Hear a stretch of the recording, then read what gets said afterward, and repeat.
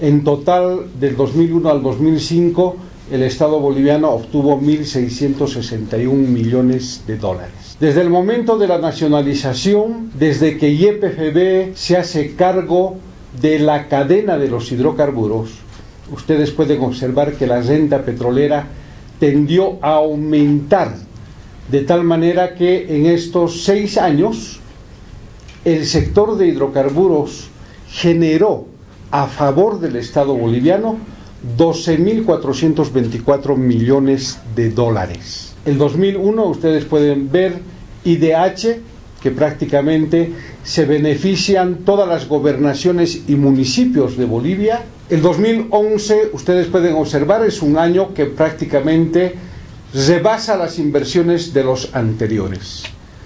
El 2012, o sea, este año, tenemos un presupuesto de inversiones que asciende a 2.050 millones de dólares. Acá los tres sectores, la casa matriz, las empresas subsidiarias de IEPGB y los contratos de operación o las empresas privadas, vamos a realizar esta inversión que asciende a 2.050 millones de dólares. En consecuencia, este va a ser un monto récord de inversiones en la historia hidrocarburífera de Bolivia. Estos 2.050 millones de dólares están distribuidos por actividades. En exploración van a explorar la casa matriz, las empresas subsidiarias de YPFB, las empresas privadas que están en el marco de los contratos de operación.